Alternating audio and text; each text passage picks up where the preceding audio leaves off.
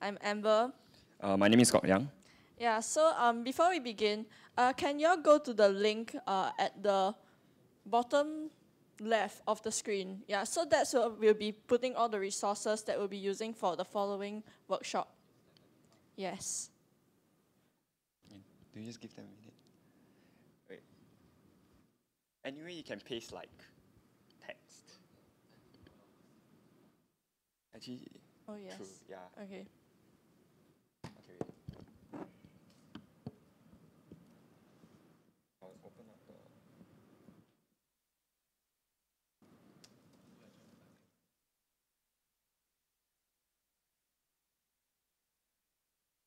Okay, do give us a minute. We'll give you the tiny URL shortly.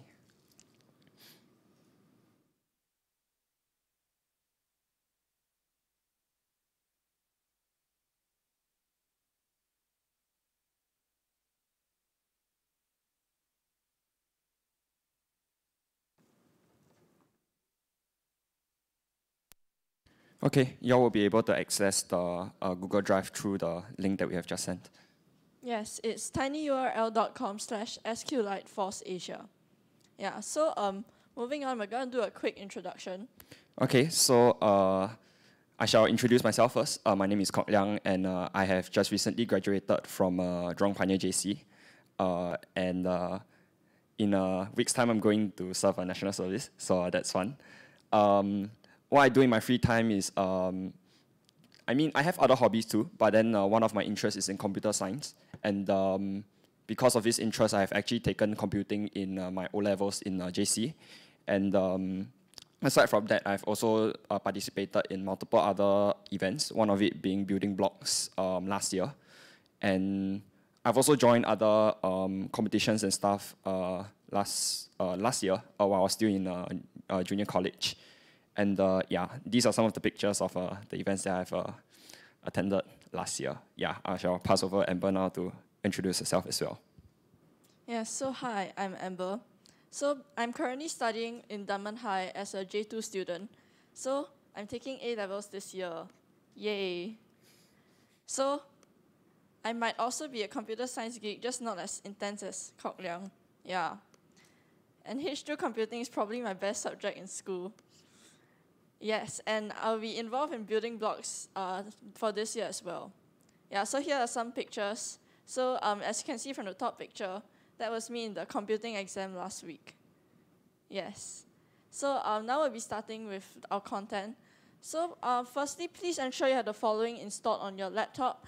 Uh, Python version 3 or later, and DB browser for SQLite. So the download links for uh, these two software can be found in the Google Drive folder that we shared earlier. Yeah, so we'll be covering databases and how they work, SQLite 3 in Python, and a hands-on exercise, and finally the dangers of SQL. So first, I'll be talking about databases and how they work. So firstly, what is a database? So usually a database is used to store critical data for an organization like uh, private companies or the government. So for example, you can uh, take the example of an e-commerce store. So they will have a database to store the employee details, product details, as well as purchase details. So basically, in a database, uh, especially for a relational database model, there'll be multiple tables, such as the following. Yeah, and that's how the data is stored. So um, in actually in a relational database model, which we'll be using for SQLite, the tables will actually be linked by um, this thing called foreign keys, which I will explain more later. Yeah. So yeah, each database will consist of one or more tables, and each table will contain data for one type of information. So basically one entity. So um, the e-commerce store database should contain the employee table, which stores the information about employees, such as um, yeah, their their roles, their names, all that kind of thing. Uh, the product table, which stores information for the products, and the purchase table, which stores information for the purchases. So one very important concept in uh, databases is normalization. So we won't be going into this uh, during our workshop, but in the Google Drive, there'll be links to um, further explain what normalization is. So basically, the main function of it is to reduce data redundancy and improve data integrity to make the database more efficient. So in a database, there's this thing called keys. So keys consist of one or more fields, and basically, it, when you have the key, you kind of unlock access to the table. The first key is the primary key, so this will be a unique key and is used to identify specific records or data in a table. And this should not change over time. The next key is called the secondary key, so it's basically non-primary fields. And then there's the composite key. So this is basically when one a singular field is not sufficient to provide a primary key. So this combines two or more fields in a table to form a primary key. And the last one is called a foreign key, which is basically a key, a field in one table that links to another field in another table. Yes. So basically, there are two ways to access the database. The first one is using a pre-made software like DB Browser. So it's actually a graphic interface to work with database and tables. So now um, we'll be opening it up to show you all more. So for um, Windows users, you can just search it in the search bar here.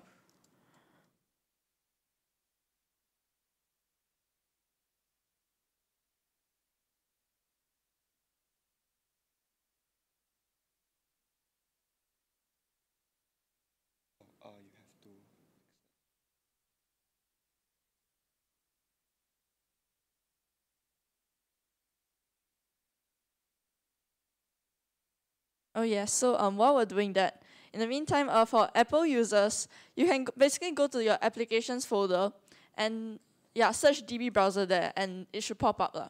So this is basically how the interface looks like. So the first thing you want to do when you open up DB browser is you want to create a new database if you don't have one existing. If you have one already, you can just open it using this button here. Yeah, so we're going to create a new database and we're going to name it store.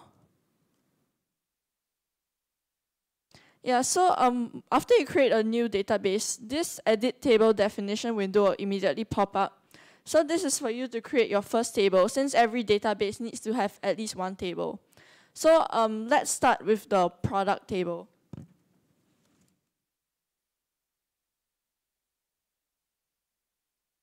And now we're going to add our fields. So the first field we'll be adding is the product index field, which will be shortening to product prod ID. Yeah.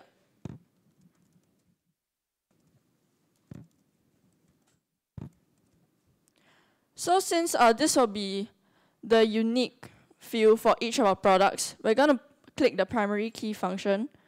So as you can see, there are some uh, field constraints here. The first one being not null, primary key, auto increment, and unique. So basically not null means that the field cannot be empty for every record. And yeah, primary key is primary key. Then auto increment is for like indexes where with every record it automatically goes up by one number. So like one, two, three, like that. Yeah, so you don't need to enter it um on your like manually, yeah. Then the last one is unique. So it's like every, like no two records should have the same entry for that field. Yeah, so when I click primary key, it actually encapsulates not null and unique. So yeah, we don't need to click those two for our primary key. And then there's this thing called field type. So you can see there are a few types here. So basically the most commonly used one is integer, text, and real. So integer is basically for whole numbers, while text is for like strings. And real is for numbers with decimal points. Yeah. As for blob and numeric, blob basically means binary large objects which can store like images and video files. And numeric is for like either like you basically you can store either integers or real in there. Yeah, so we're just gonna use integer for product ID. And we're gonna add a, a few more fields.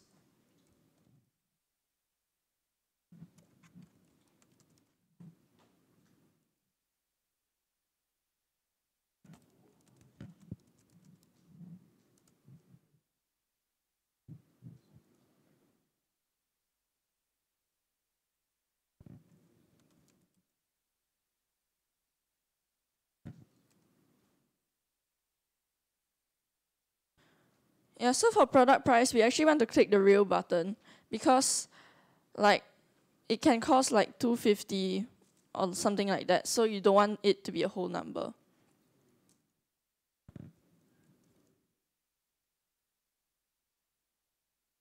Yeah, so the last one will be um, availability of the product. So um, you can see like for every name of the field, I've actually done prod and then basically something else after that, right? So um, actually this is a good this is a good practice because if you have a lot of tables, like some of these um, fields may come up again, so it would be good to specify like which table it's from. Yeah, so for avail, it would be good to change it to prod avail. Yeah, so now we're done creating our table. So we click OK.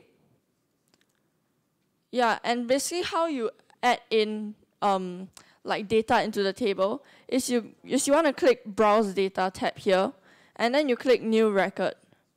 So you can see that the first line immediately pops up. So in order to add data into the new row, right, basically you click the box which you want to add it in, and then there'll be this other box on the right. So you click here, and then you type in what you want to type in. So let's say we're doing one for apples now. Yep, and then you just click apply. And then you can see it immediately pops up here. So let's just do this for the other fields.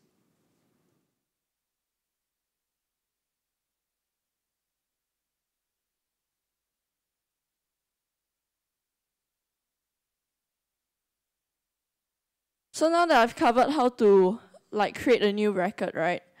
The next thing we're going to cover is how to edit an existing record. So you see I've already filled in everything here, right?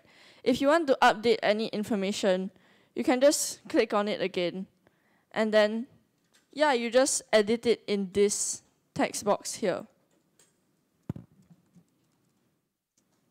And then you just click apply. Then you update automatically. Yeah, so if you want to delete a record, all you need to do is you press any field, you click any field on that specific record, and then you, and then you click delete record, and then it will disappear. Yes. So um actually one function of the DB browser is that you can actually type in your own SQL code here to execute it. Yeah. So um let's say we open up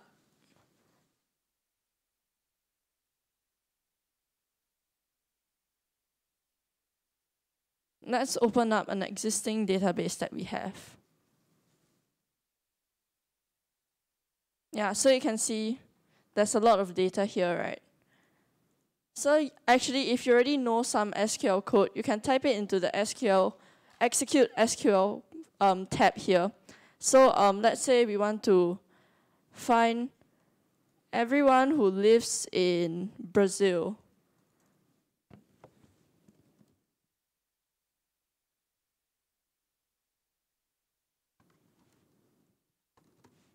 So humans is the table name.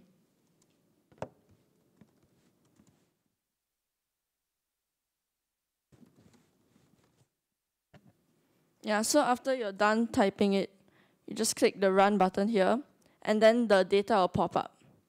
Yeah, so um, basically that's how you use DB browser for SQLite. Ah, yeah. Uh, so for those people who just came, right, uh, basically we have this uh, link here, tinyurl.com slash SQLite FOSSASIA. So that's where uh, we have all our resources, including the download links to Python 3 and DB browser. Yeah.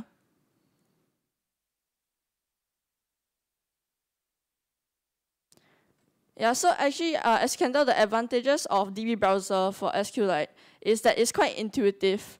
So like, if when you play around with it, you can kind of figure out on your own how to use it. But one disadvantage is that it's not very flexible in comparison to like typing out Python code to access SQL.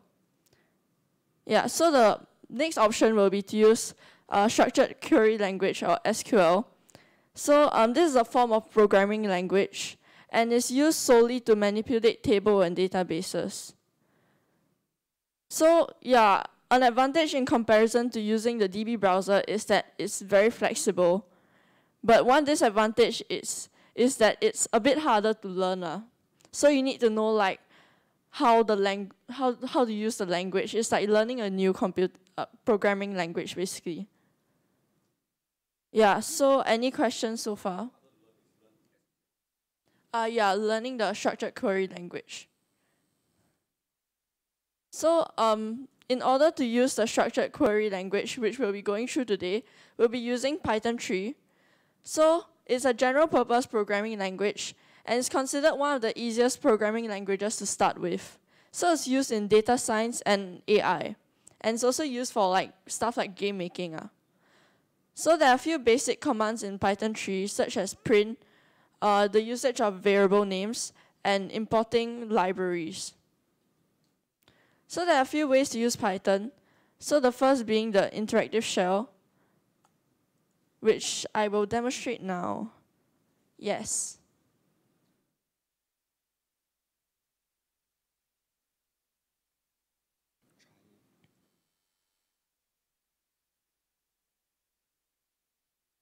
Okay, yeah, so this is the interactive shell. Um, one disadvantage of the shell is that you can only run one line at a time. So like, for example, if I type uh, print hi, the moment I click enter, right, it'll just automatically run the code. Like I can't do any other lines of code. So another way to use Python is basically in the script mode. So this is where you open up a new file and then you can do things like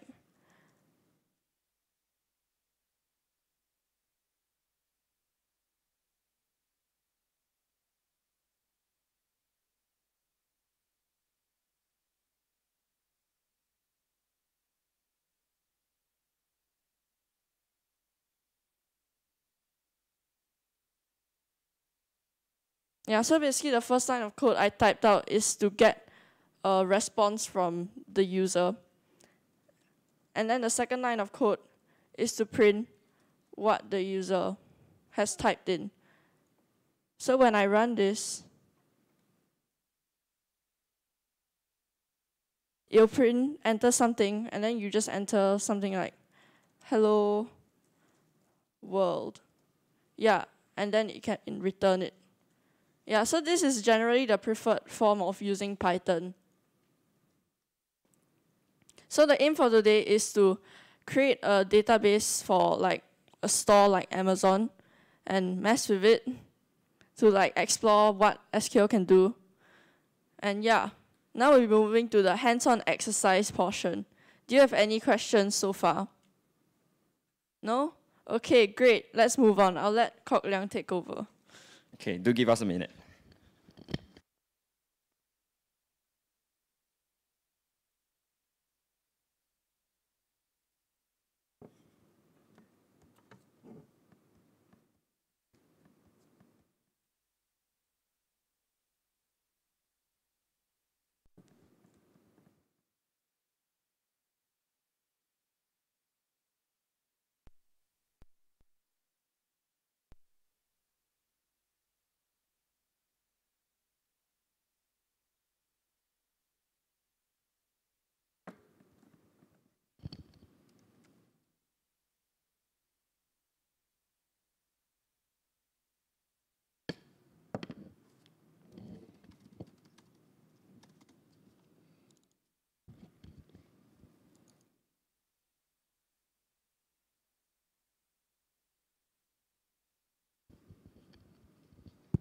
Like this. Okay, so uh, I'll be um, moving you through the hands-on exercise of uh, this workshop. Okay, so we'll move on to our first part of our, okay, no, before we start, uh, I just want to quickly mention that, um, yeah, do follow closely to what I'm about to show you because um, basically when it comes to uh, programming, um, the things that you type can be very sensitive, meaning if you uh, miss a semicolon or like you misspell a certain word. It could make your program do things that um, it's not supposed to, or either it just straight up won't work. So uh, it is important that uh, you know what you're doing. Uh, yeah, um, either follow closely, or if you have experience with this before, then um, yeah, you you just make sure you know what you're doing. Okay. So now to start out, um, I will be using um, I'll be using a script of uh, the Python, um, which um, Amber has shown you earlier. So um, do create a new file, and then uh, right before we start, um, I would like to save that into um, this folder which I have created previously. Um, it doesn't matter which folder that you insert your Python file into, uh, as long as um, it's a folder, as long as uh, you do everything in one folder, it will be fine. So over here, I'm going to name my code SQLite with Python 3. Okay. So now you can see that uh, I have this uh, Python file inside this um, folder. And um, this is my script. Okay, so um, yeah, I'll be starting off with the first part, um, which is to import SQLite 3. Now, the reason behind this command is that um, Python on its own actually doesn't really have the capability to mess with um, databases. So by uh, importing this library, what you're doing is basically importing new commands um, into, into Python, which um, will allow you to which will give you the capabilities that you will need to um, to um, add or delete uh, records in your in your database. Yeah. So with that, we can actually move on to the first part of our um, the, to the actual first commands that we're gonna run. Uh, first of it being con goes to SQ like tree connect. So now what this command is going to do is that it's going to create a variable which is called uh, con. And what it's going to do is that it's going to assign this um, into, into this variable. And basically what it's going to do, basically what it's going to do is that it's going to allow you to connect to the database using this variable. And basically, um, you do need to include something inside the brackets, and that is actually the name of your database. Now, the thing is, we don't actually have a database yet, because, I mean, it is a new file, it is a new folder and um, we don't have a database that's created uh, for this workshop. So we are going to create one from scratch right now. And um, the deal is, um, if you don't have a database yet, you can just add a name here. Like let's say, for example, I just want um, company.db. Okay. So basically, let's say if I want the name of my database to be company, okay, um, company.db, uh, this will be what I type in as my first command. Okay, so um, if I run this, what you'll see is that, okay, um, nothing is printed on the IDLE, but that's okay. We didn't ask it to print anything. But then what you'll see is that company.db now actually um, shows up in the same folder as uh, your SQLite with Python 3 um, um, script. Now, um, yeah, so basically what, what, this, um, what this command does is that if you have a database already in the same folder as your SQLite uh, with, your, with your Python script, then um, it will directly access that database. But then if none, none with this name exists, then uh, it will just create it on the spot for you. Um, now, of course, because it's just created, there's nothing inside this database yet, but uh, we, we will be uh, including records into it shortly. Okay, so now um, Yes. Uh, no, this, uh, okay. Basically, how SQLite works is that it doesn't connect to any server or anything. Um, I think um, MySQL is the one that connects to a certain server. Yeah, but then uh, for SQLite, it just, um, it works directly in your computer. So you don't even need uh, internet access. You can just run this on the spot. Yep. Um, so yeah, we'll be moving on to the next part of this uh, work, uh, to next part of this uh, exercise, which is to create um, okay, before we can even we can even run any SQL statements, uh, one of the things that we need uh, for um, for SQLite 3 is this thing called cursor. Okay, so now um, basically, I'll type out the full command first. So now this, what this command does is that once again, it creates a variable. Uh, in this uh, case, it's called cursor. And what it does is that it assigns this into cursor. And basically what this command does is that it creates a cursor, uh, it creates, um, okay, it creates this thing called cursor, which will allow you to control your database using SQL commands. Um, yeah, and in this case, uh, it will control the database uh, that you have connected to previously, which is company.db. So in this case, uh, cursor, yeah, cursor will allow you to control the database. Okay, so now these are the um, these are the introductory commands that will allow you to start uh, using SQL statements for your database. Yes. Okay. So um, yeah, just to quickly show you some of the important Python commands that you'll need um, for this uh, for this uh, portion. Um, first of it is um, okay.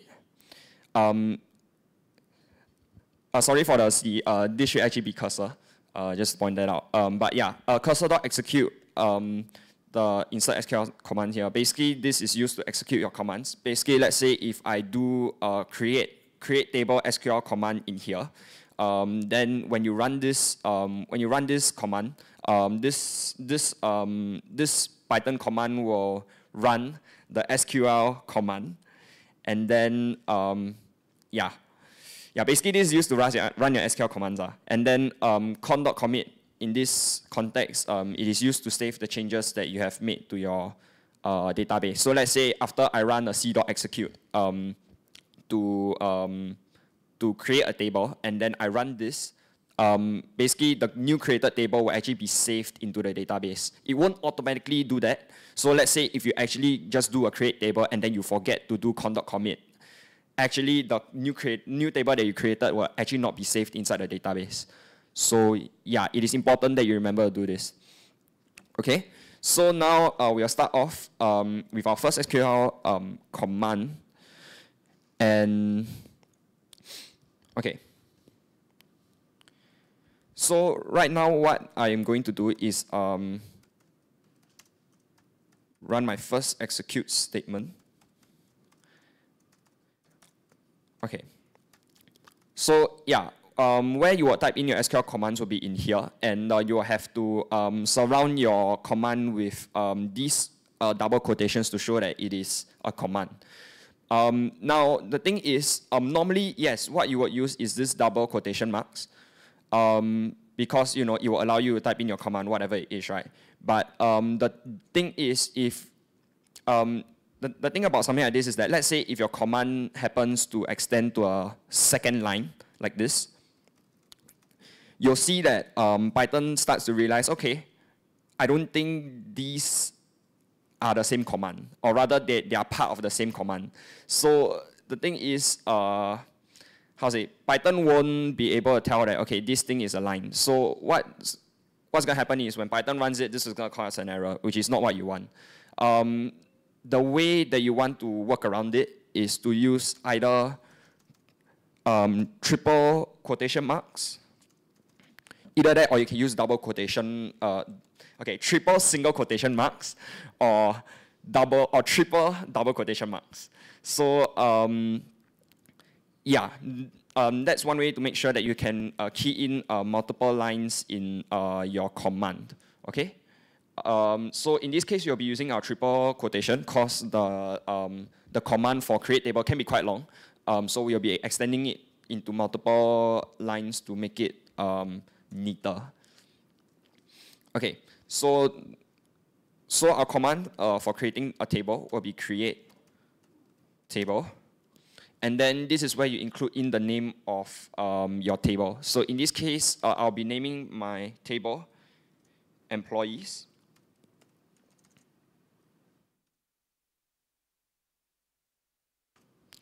Okay. And then um, and then after this, you want to um, start a bracket. Um, and then basically in this bracket, we are going to key in all the names of our columns. Okay, so basically in a table, um, what you need to what you need to tell the uh, the SQL is the name of your table, and all of and the the name of all of your columns and what data type they are going to be. Okay, So in this case, you're gonna have.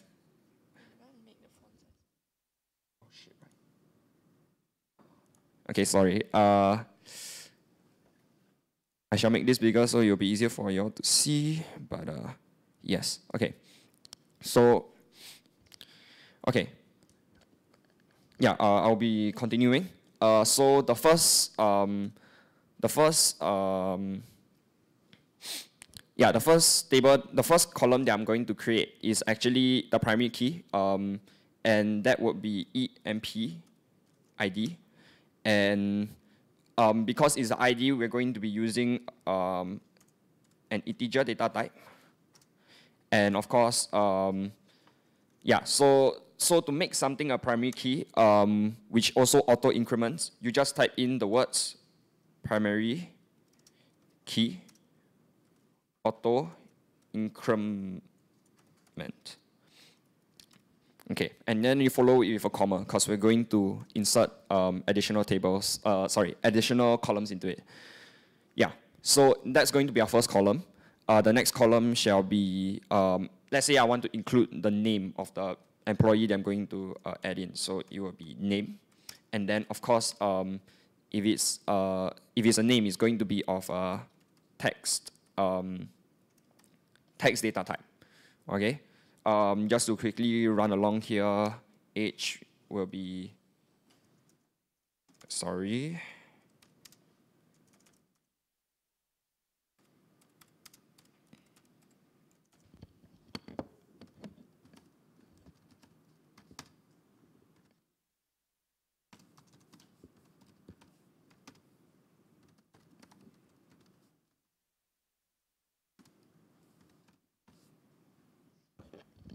Okay, so uh, as you have seen, uh, I have created um, three further uh, columns. Um, and these, yeah, these are just informations that let's say I want to keep of my uh, employee. So I have uh, age, which is of integer data type, uh, handphone number, which is of a text data type, and birthday, which I'll be keeping in a text data type as well. Okay, so after all of this, uh, very important, your last, your last column should not have a comma, because it's going to cause an error. And then in the final line, you can just close off the bracket that you have started off over here. Okay? So now with that, uh, you have this whole command. And then, um, yeah, this, this command um, is complete. And then, uh, as, a, as I've said earlier, you'll need to make sure that you do uh, con dot commit to make sure that, um, you know, um, that your new created table is actually saved into the into the database. And then, of course, a very good, um, a good, um, yeah, good habit to have is to close the file, uh, is to close um, this connection once you're done with it to make sure that uh, it doesn't take up um, more resources than it needs to. Yeah, so after this, uh, once you have this um, starting command, you can actually uh, start running it and um, to run it, yeah, you click on run and you click on run module or you can just press F5. For me, I prefer pressing F5 because it's much easier.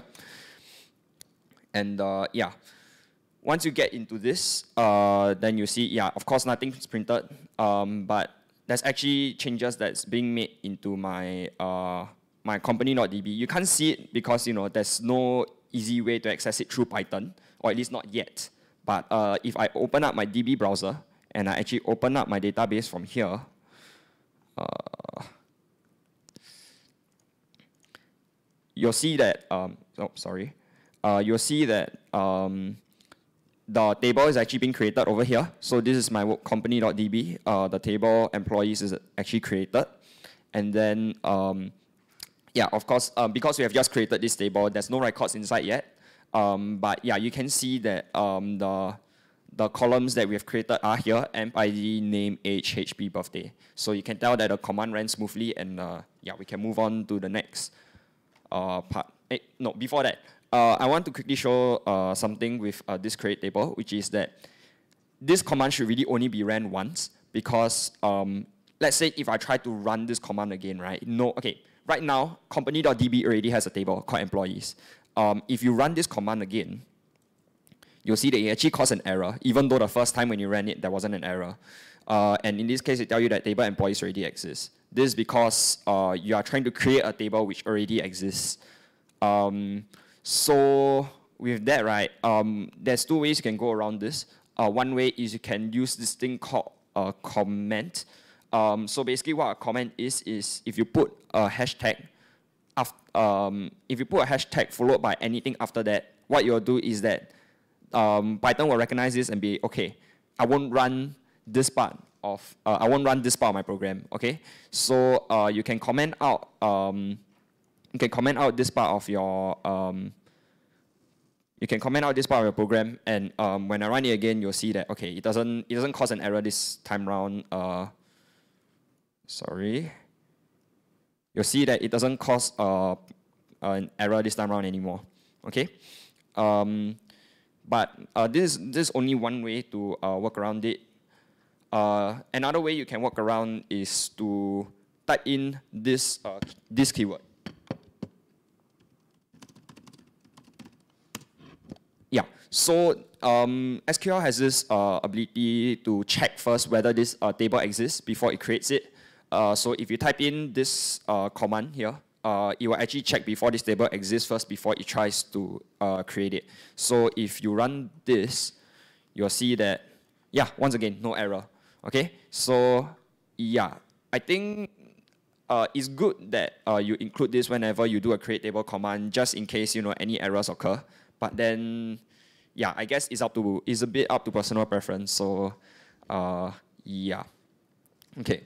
So now with that, uh, we'll move on to the next part of our um, hands-on, which is uh, to work on our, to, to do insert statements. So basically, let's say now I have my table, I have my employee table.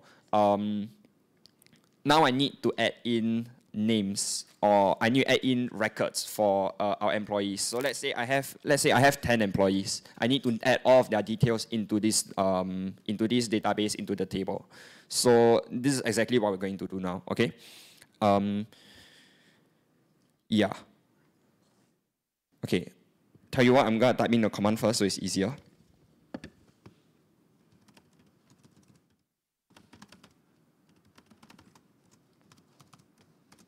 Okay, in this case, I'll be using single double quotation marks um, since um, this um, command can be run in one line.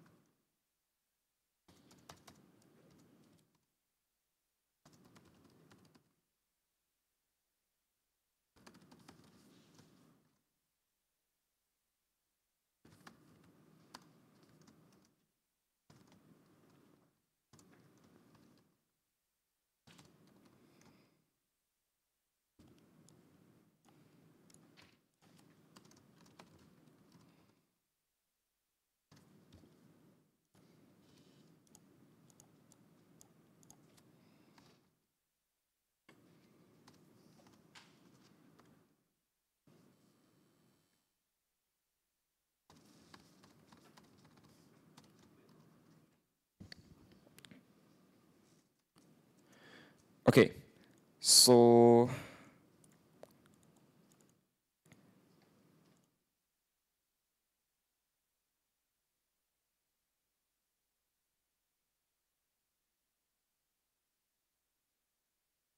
Okay, so this will be uh, the SQL command that I'm running. Um, so yeah, okay, let me just quickly go through this statement with you.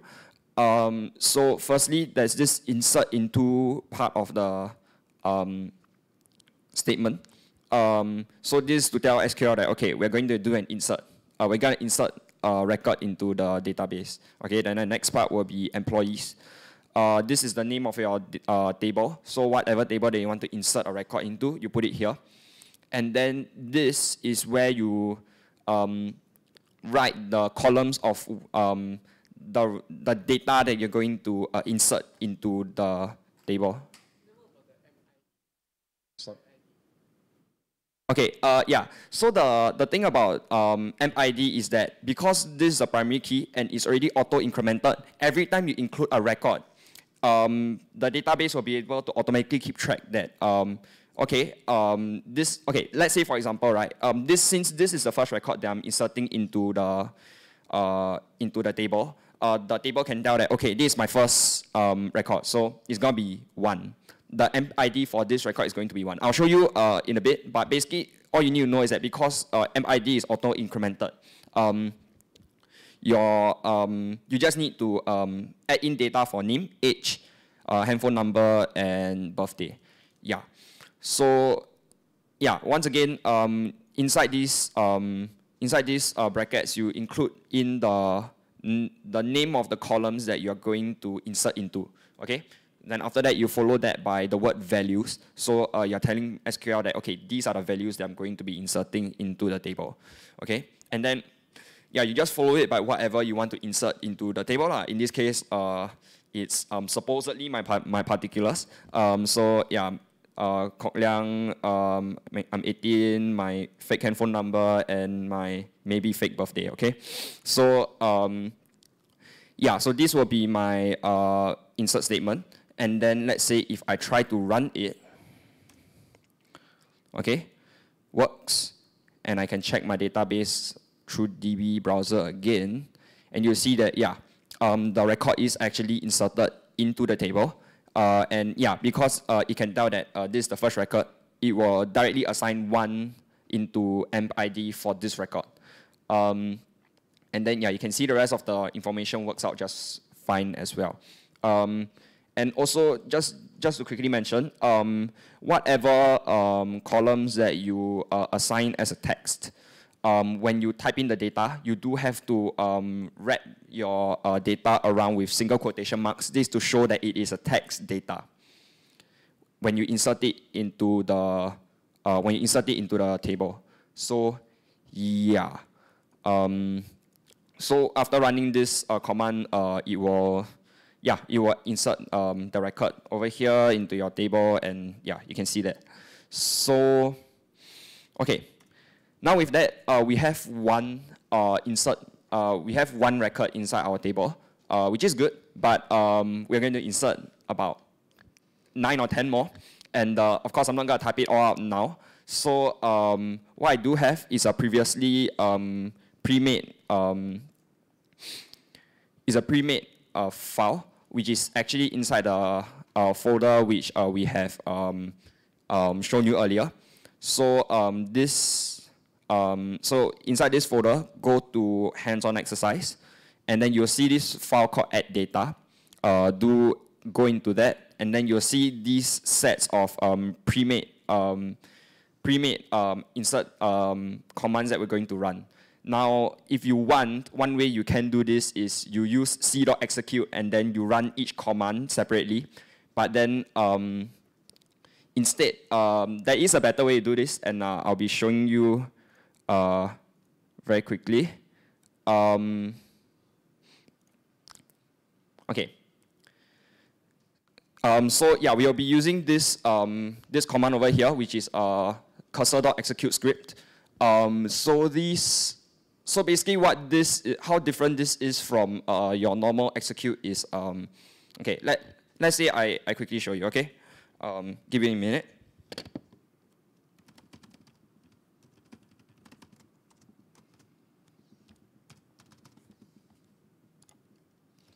Okay, I'll now be uh, pasting the um, commands, um, the pre-made commands into my uh, Python script.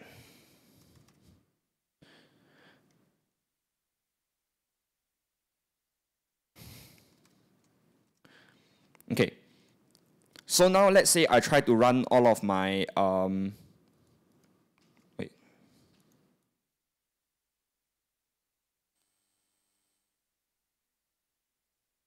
let's say I try to run all of these insert commands all at once.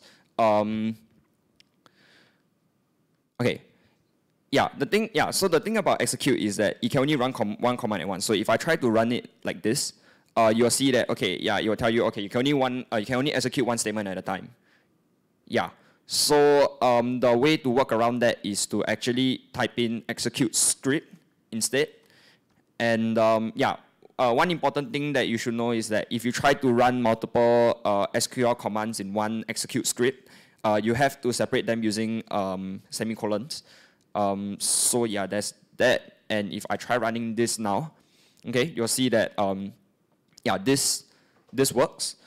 Um, and if I go into the database again, then you can see, yeah, all the records are actually uh, inserted nicely for you. And yeah, once again, you can see that for MID, it just automatically increases um, each record's MID by one for each uh, for each record, so that um, you know each um, each record will have a unique uh, employee ID to it. And yeah, you can see all the data uh, inserted in. Um, just quickly mention, all these people are uh, fake. I uh, created them from an online generator. So uh, yeah, just put that out there. Um, but yeah, you can see all the data inside the table lah, and it's, yeah, we'll be able to use this uh, data later on. Um, okay, one thing you'll want to do uh, when it comes to insert um, insert into statements is that they are similar to create tables in that sense that if you try to, in, let's say if I try to run this script again, right, actually what you'll see is that it will just insert these um, records again into your database or your table rather because um, because it doesn't care whether uh, it's already inside a table or not. So if you do run this command again, you'll have duplicates inside your table. But the um, yeah, so the the way that you want to um, um, not do that is to, yeah, once again, just comment out your code. Um, insert into statements actually doesn't really have a if not exist clause. So you can't use that uh, when it comes to insert into statements. So yeah, just comment it out. You won't have a problem with it later on.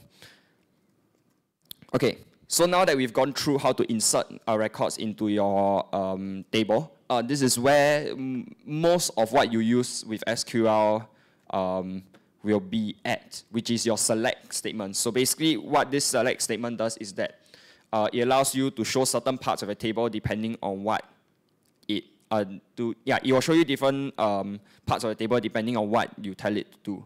So, um, okay, I'll, I shall start off with the most simple, um, most simple of um, select statements.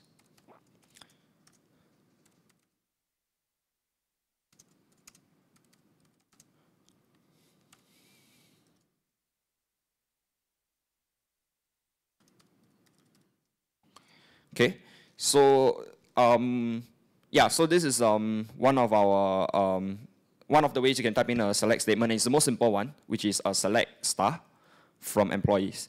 So um, this basically the format of a select statement is um, is like this. Okay, so uh, first you type in the um, select and then the name of your uh, the name of the columns you want to show, and then um, from and then the name of your table. Now, um, if you want to show all columns, you can just easily use uh, asterisk. Um, Python will be able, uh, or rather SQL will be able to tell that uh, this is um, uh, this is uh, you want to show all the tables. So now, if I okay, now the thing about the select uh, statement is that you can't just select. Um, okay, Python won't be able to show you what you select straight away. You have to print it out yourself. So basically what it does is that cursor will be able to keep the uh, data that you have collected, but then it won't be able to show it straight away. So um, to be able to print out the data that you selected, um, okay, do just follow along.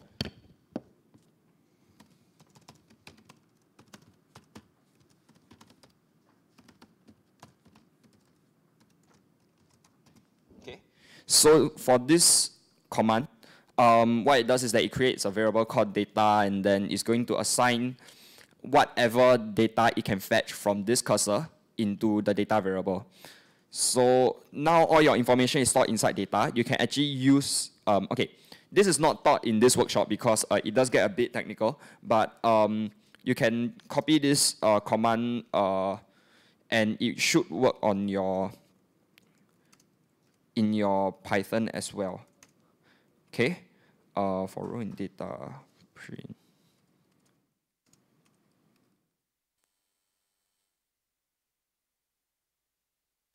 Okay, so um, so yeah, basically to roughly go through, right, basically what this does is it just takes every row, every record in um, whatever uh, has whatever record is inside the data, and then it will print out each record row by row.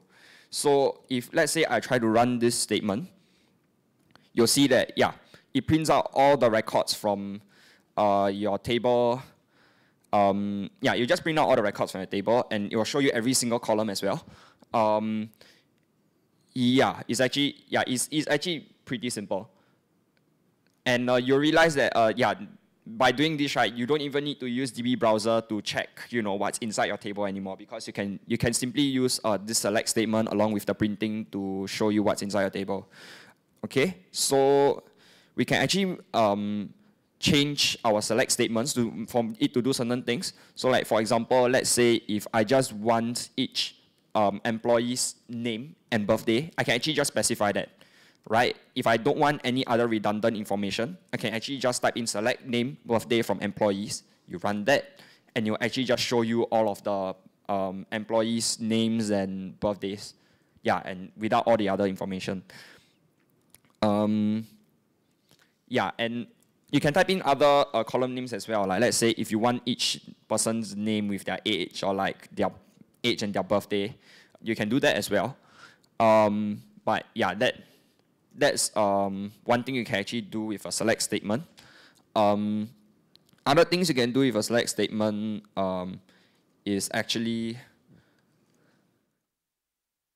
uh, over here. Oops, sorry.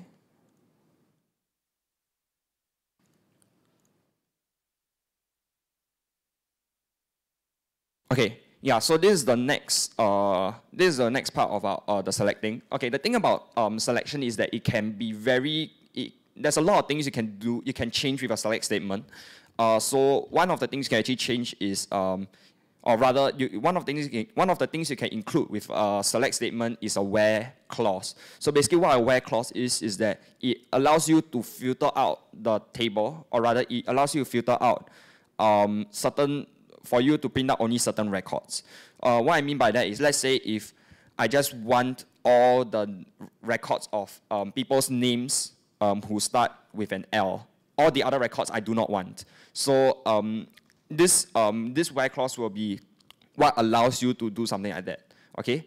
Um, so let me give you a quick demonstration. Um, I shall start with okay. Now let's say uh, I just want um, all the records whose age start with 42, okay? So let's do where, okay? And the way you type this is age, sorry, age equals to 42, okay? So yeah, when you run this command, what you're going to see is that it's only going to print out these two rather than print out the whole table. Um, and yeah, you'll see that, yeah, these two records, both of them have age 42 on them. And then the rest, they don't get printed. Okay? So, yeah, that's one of the ways you can use the where clause. Another way you can use this, actually, is um, there's actually multiple different um, ways you can, uh, yeah. Um, Oh, good question. Um, okay, in a in a normal uh by okay when you use um the double like when you use a conditional in Python right, it's always in double equal signs. But then in uh, SQL right, they don't uh, really assign anything to anything, so they just use they use the equal sign as a comparison rather than just an assignment. So um, in this case, um, actually I'm not sure whether using double equals will work. Okay, yeah, using double equals will work as well if you want to, but um, I think it's safer to just keep it to equals, just one equal sign to make it more readable as well. Yeah. So, um, okay. Yeah, so the thing is there are actually multiple different kinds of conditionals that you can use. Uh, one of it is actually equals to. Um, yeah, this is the one that we have uh, just uh, used earlier. And then um, the next one is uh, does not equals to. Um, yeah, basically it just does exactly what you think it does, right? Like, uh, let's say if I just replace um, this with a not equals to statement, we just print out everything that's uh, whose age is not equals to 42. So instead, these two records are the ones which are omitted in your um, in your uh, printing. Okay, and then there's also different other uh, different kinds of conditionals like there's less than, more than. So let's say if I try to use, you know, um, more than, then you get, you know, all of the records which are more than 42, and then if you do less than, then you get the ones which are less than 42. If you do, you can actually also do, um, you know, less than or equals to, more than or equals to, yeah, those will be, yeah, the different kinds that you can use. Uh, and then, yeah, um, one important thing, one important thing to take note about um, these conditionals is that uh, you should really only be using them for numerical data types like integer or real because I mean it, it kind of doesn't make sense for you to check whether the name is more than a certain name or less than a certain name. So yeah, this should really only be used for numerical data types. Yeah.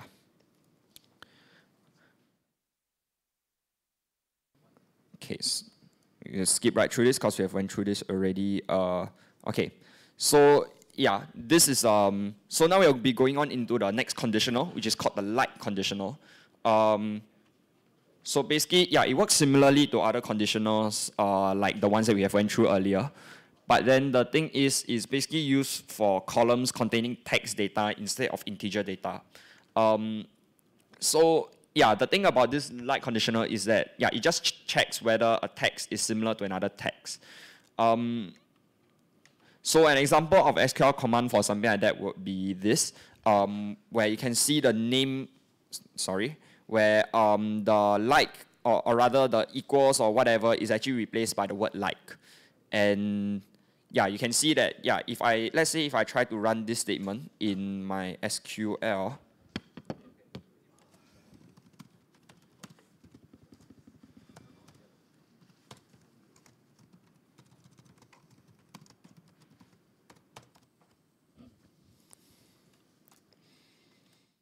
Okay, yeah. Um, so we run a command where name is like Jack Thomas. Uh, you'll just print out the one record where, you know, it's, it's Jack Thomas's name. Yeah. So, uh, yeah, right now, um, it seems like, okay, you can only, you can, like, basically it's like a one-to-one -one match. Yeah. Uh, yeah, I'll be going on into that shortly. Yeah. Um, so, um, yeah, right now it's just a one-to-one -one match where name is like Matthew. So it has to be exactly the same um, text. But then the thing is, um, when you move on to the next part, right? Let's say if we just have um, an employee's, um, just part of an employee's name, you don't know the person's full name, right? Um, you can actually still get SQL to return the record. And uh, the way to do that is actually using this thing called wildcard characters. So these wildcard characters are um, basically, they allow you to replace uh, certain um, certain parts of uh, a string. Um, okay, I'll, I'll, I'll try to show you what uh, I mean by that. Now, let's say if we try to tackle this question, okay, given just part of an employee's name Tina, how can I get SQL to still return a record? Um, the way that you will do that is, let's say, uh, okay, so I have Tina, but um, now the thing is I want to check for all the names that start with Tina and whatever after that uh, it doesn't matter. Uh, as long as it starts with Tina, I want you to print it out. So the way you can do that is to use a wildcard character, which is the percentage sign. So this percentage sign um, allows you, basically it can replace one, it can replace zero or more characters. So if let's say in this case, I use the percentage sign here, um, it will, it will uh, let's say if this checks with um, my first my first uh, record, which is Lim Kok Liang, you'll see, okay, complete zero match, you know, um, because it starts with Tina, it starts with Lim. Okay, then you'll go through, okay, this doesn't match, this doesn't match, this doesn't match, and then you'll come here, and then you'll see that, okay, Tina matches the first part of my string. Let's see, what about this? Oh, okay, zero or more characters after that, right? For my this record, I have six characters after Tina. It doesn't matter what characters those are as long as it's any number of characters, uh, it can be taken up by this um, percentage sign. So it will be, okay. so this string and this string will have a perfect match. Okay? So when you try to run this command, um, what you'll see is that actually, yeah, it does print out the record for Tina Fus. Yeah. Now, uh, okay, so yeah, this is one of the wildcard characters that you can use. Um, another one you can actually use is, uh, okay, kind of unlikely situation, but let's say if you forget what's the first letter of, um, of this person's name, okay? Like let's say you think it's Gina Fuse instead or something, but you're not sure, okay? Uh, another way, another, in this um, situation, you can and use another wildcard character called um, the underscore. So basically, this underscore will only allow you to represent one character only. Okay? So, um, yeah, let's say in this case, I know that the person's name starts with some letter and then Ina Fus.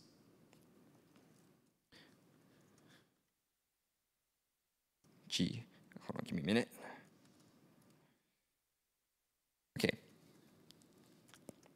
Okay, so if I use the underscore on the first, then you'll see that, um, yeah, once again, it just prints out, um, you, you just print out the, um, yeah, you'll just print out the, the one record which fits um, this string.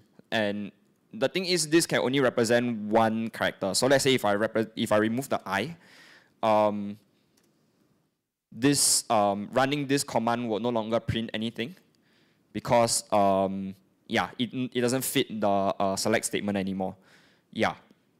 So, um, okay, a very interesting way you can use uh, this um, this uh, underscore as well is, uh, let's say if you want to find um, someone's um, first part of the name, which is four characters long, okay? So if I want to find uh, all the uh, first, okay, yeah, if uh, their first word in their name starts with four characters, I can do four underscores, followed by a space, and then a percentage sign. Okay, so you can actually use these wildcard characters in very special ways to find exactly what you're looking for. So if you run this command, you'll see that, uh, yeah, you'll just print out all the um, records where, you know, the first word of their name, four, uh, four characters long.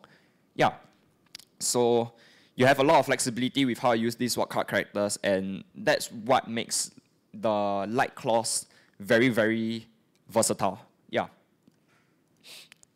So we move on to our next uh, next other conditionals. Um, the okay, the first one being the and uh, conditional. Uh, so basically, this is like how you would use uh, and in English, right? Uh, you know, um, something and something. Um, yeah. So I'll just quickly uh, run through this explanation. Um, now let's say if we try to do uh, a check uh, on, uh, on the SQL table and then uh, we want something to be equal to something. Okay, so we do a check of is 1 is equal to 2 and if air is equal to fair. Okay, in this case, both 1 is equal to 2 is false, air equals to fair is false. So when it, when it uh, runs through this, it will just um, give you a it just give you a false result. It means that, let's say for that record, right, if the name is equals to 1, or, or rather if the age is equals to 1, and the name is equals to air, um, this check will just not go through at all, okay? Then um, in this case, uh, only one of it is true. One is equals to 1 and air is equals to fair. One of it is true, another one is false. Um, once again, uh, the record will still not be printed because both conditionals need to be true, which is what I show in the next uh, example. So in this case, true and true, um, only when um, both um, conditionals are true, then it will actually give you, it will actually print out the record for you. Okay? So to show you that in action, uh, let's say if I still have uh, this name like, um, so you know that this one will already print out um, three uh, records for you, right? So now let's say I add in an additional, uh, an additional uh, condition, which is um,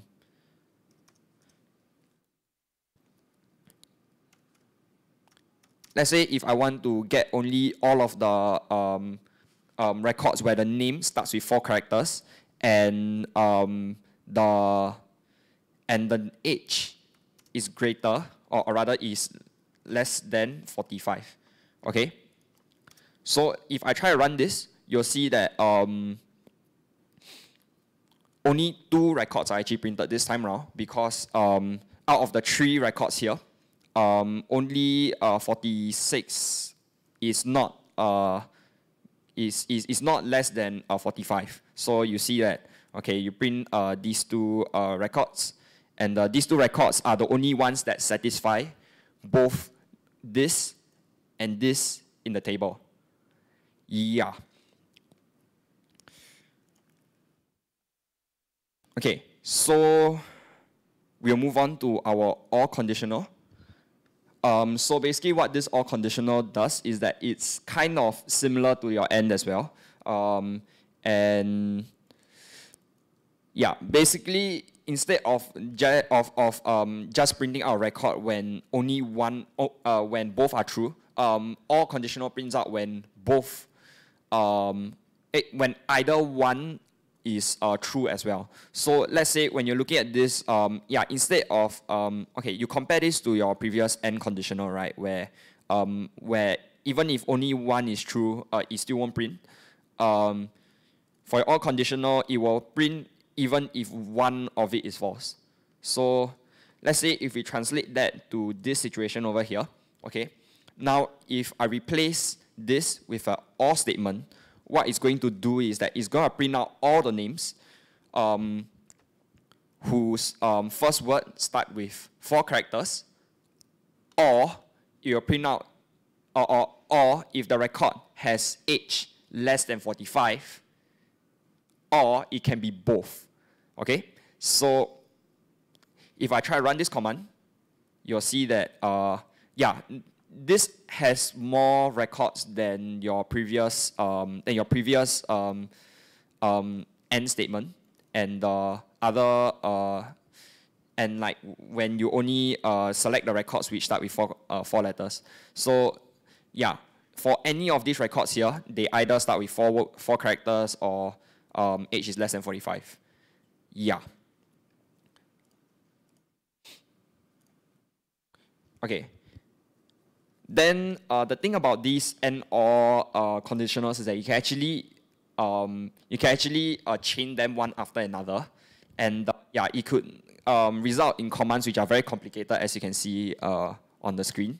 Um, so these um, conditionals start to become a bit more hard to wrap your head around because I mean, yeah, you don't you don't exactly know what uh, record this is going to return you. Okay, so um, I think it is important uh, to take note that um, Python actually uh, run, or rather SQL actually runs this, uh, actually checks through these conditionals um, from left to right. Okay, so let's say yeah, you have this kind of uh, SQL command. Um, basically, what you actually do is that um, you actually check, um, you check for this conditional first and this conditional, and then it will evaluate the you evaluate uh, this whole thing Okay, so basically you'll check whether this is true, check whether this is true, and then you will check whether this is true or false. Okay, and then if let's say, uh, yeah, and then so let's say you have a value here already, and then uh, it will check this one, and then it will check this against this with the OR with the OR conditional. Yeah, so um, we can actually try this in uh, our in our Python script as well. Um, let's say if we do this command over here, where we do name like percentage L,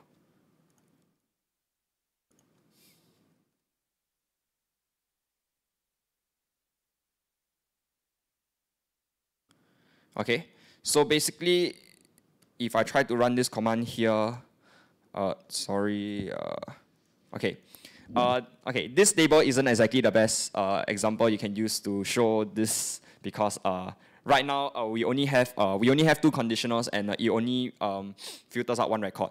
But um, the main idea here is basically um, it will it will check whether this is true first and whether this is true, um, and then um, and then depending on okay, let's say for example we check this against the first record. Okay, the first record is um, is this one. If so when name is like uh, L, basically this basically if there's a capital L anywhere inside your um, inside your string, uh, it will um, it will it will be true. So this will be considered true. This um, will be considered true for the first uh, record as well. So true and true will return you true. Okay. Now if I follow that up with OR, uh, age is more than 20, for example, okay? You'll see that, okay, oh, no, sorry, this, this, uh, this does not work. HP, uh,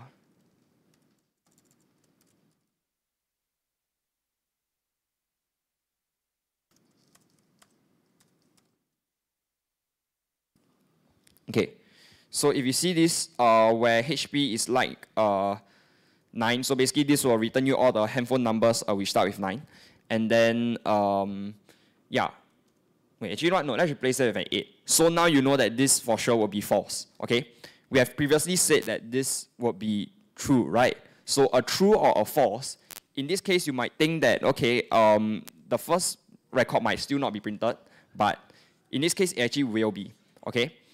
Um, so let's say if we try to run this, okay, not only do you have these extra other uh, records here, you also have the first code, uh, uh, record as well because it is true for the first part of your um, select statement. Yeah, this is where things get a bit more complicated because you know, like you kind of have to do a bit of um, like calculation, see whether something's true or false, and then like check whether something's true and true or true and false or things like that. But um, yeah, this this takes a bit of practice uh, to get down, but this is the main idea behind how to use this um, order of conditionals. Uh. Yeah.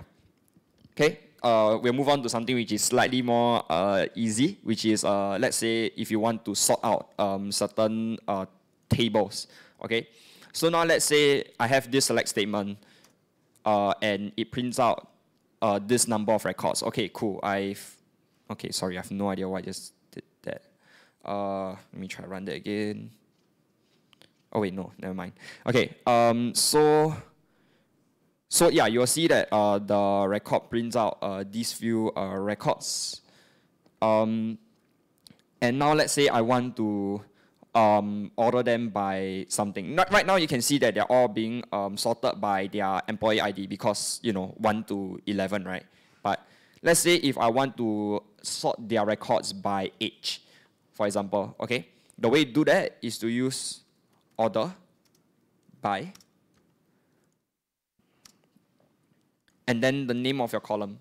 Uh, yeah, so you'll, you'll be following this uh, you'll be following this uh, syntax uh, in your, yeah, you'll be following this uh, syntax in your um, command. So you use order by, and then you use uh, the name of your column, which is, um, let's say, yeah, so in this case, we are using, we are ordering by age. So, yeah, and then after that, you follow it up um, with either uh, ascending or descending. Um, yeah, so it's only one or the other. You don't include both, or else the program gets confused. Um, so if you try to run this command, you'll see that um, instead of printing out everything um, by employee ID, you'll see that you know the order is actually different now. Uh, it's printed out by um, yeah, it's printed out in in uh, ascending age, and then if you replace this with uh, descending age, then yeah, it does the opposite order. Yeah, so this one's pretty simple, um, but yeah, it can be pretty useful sometimes if you want to find a specific, uh, like how say, if you want to uh, arrange your order, eh, if you want to change the order of the way that your table prints out uh, values. Yeah. Okay, so yeah, we'll quickly run through the last two parts of our um, yeah, the last two parts of our um, of our workshop. Yeah, okay, that works. Uh, so yeah, the last two parts will be about how to update the current records which are inside your table and how to delete records or delete the table. Okay, so um, yeah, we'll start another. Um, actually, you know what? We don't need this select statement anymore we can. Okay, so our next part will be on how to update. Um, so now let's say uh, um, I want to change my handphone number. Okay, I, I change my handphone number into um, something like uh, 91234567. Okay, Um, the way that you'll use this is to, um, okay, hold on, give me a minute. Okay, so um, the, the format for this, um, yeah, for this record is actually like this. Um, but uh, in this workshop, we'll only just, um, we'll just change one of the columns um, just to make it simple. Uh, so you see that, uh, yeah, so, okay, I'll show you this in the context of this table. So update, uh, in this case, your table name, so it'll be employees set. Okay, then from here you type in the name of the column that you want to change. So let's say, uh, okay, hold on, give me a minute.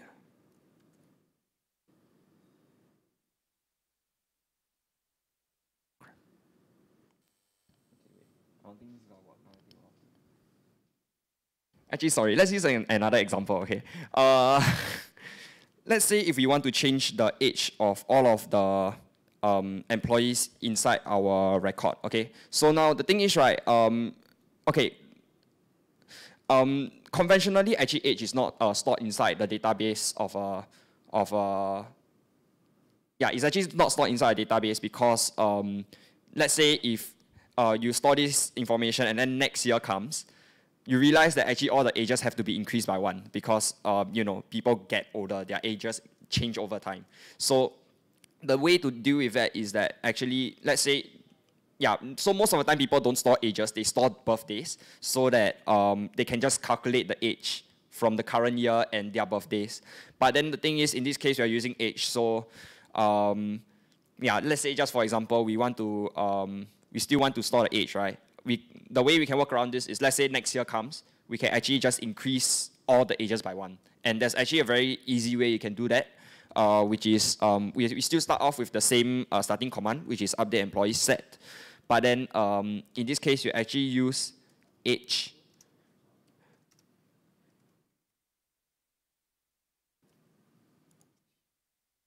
Okay, so this one is a bit more, um, how say, it, it gets a bit more technical because I mean this this statement doesn't seem to make much sense now yet because uh you know it, it's trying to tell you okay age is equals to age plus one, um but okay the thing is uh in this case uh how say in this case, right, because you're using a set clause over here, right, this is the one of the special cases where you actually do use assignments in SQL.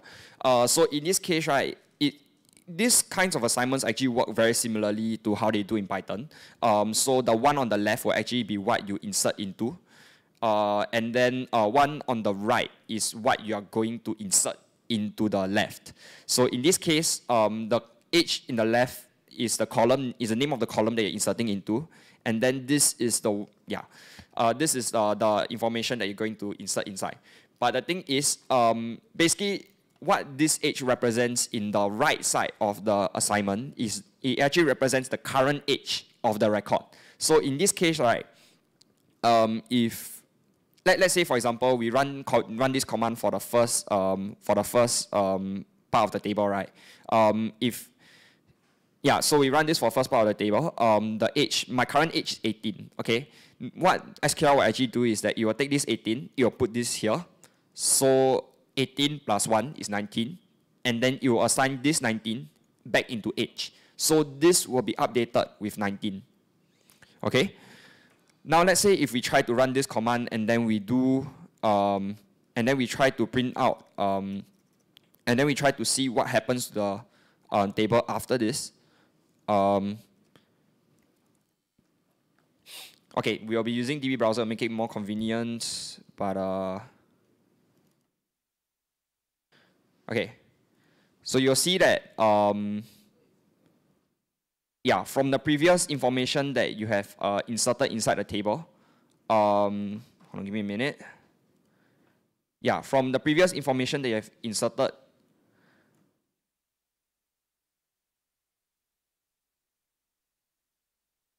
you can actually see the difference in the age over here. Um, 18 has been updated to 19 uh, 45 has been updated to 46, 35 has been updated to 36, and then so on and so forth.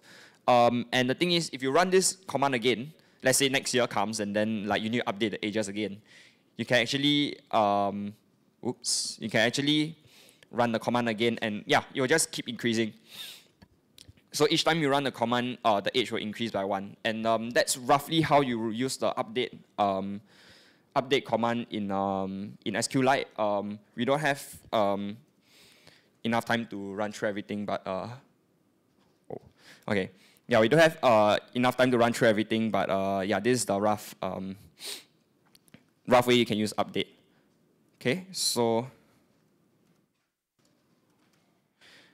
we'll just quickly run through into the last part of our um, our SQLite workshop, which is um, using the drop tables function. So now let's say we have created this table, um, but uh, I don't know, maybe your company goes bankrupt or something, and then like, okay, I don't need this table anymore. Uh, I can just drop this table. Uh, yeah, you can use this command called drop tables uh, employees, and what you'll do is um, you'll just remove the table from a database, and if you run this in your company.db, you can see that your table is gone forever. So yeah, uh, this, this wraps up um, the hands-on exercise of our workshop. But um, yeah, let's see, what else? Okay, yeah, we have a challenge over here actually, but um, yeah, the okay, we won't have time to do this, but um, this will be uploaded onto the Google Drive uh, folder that we have uh, showed you guys. Uh, so if you guys want to try out these challenges, um, yeah, it's on the it's on the Google Drive folder. Um, yeah. Okay. Yeah. Yeah. It's it's on the yeah. It's you can access it through this for uh, this URL just as a reminder, and uh, yeah, you can find it under challenge and um, the database that you are supposed to connect to is here as well with the answers if you want to check them. Um, and yeah, it's a good it's good to uh, let yourself uh, practice and uh, see how uh, yeah see how this goes. Um, unfortunately, we won't have uh, time to go through these uh, this part of the presentation. Uh, sorry for the overrun, but um, yeah, if you would like to, uh, there's actually a YouTube video online that you can uh, see to um, learn more about what this specific um, issue is. Um, but basically, if I have to wrap things up in about a minute, all I can say is basically the way that you write your SQL statements is very important. Uh, sometimes it can be written in a way where it can be very easy for hackers to, to get access to your database just simply by how you type out your SQL codes. Yeah, so um, if you want, you can uh, watch this uh, video online, find out more. It's by Computerphile, a very good uh, computing uh, YouTube channel. But uh, yeah. Um, so to wrap up the learning points that uh, we have gone through today, basically, yeah, we've gone through the basics of controlling a database with SQL. And then we've also gone through the basics of Python 3 programming using print statements or how to how to use variables and things like that. And um, yeah, this part we didn't really go through, but uh, if you want to find out more, you can uh, go online and search it up. It's actually very interesting. But uh, yeah, with that, uh, we have come to the end of our workshop. Uh, thank you for your time. and Yes, thank yeah. you. Hope yes. you enjoy yourself.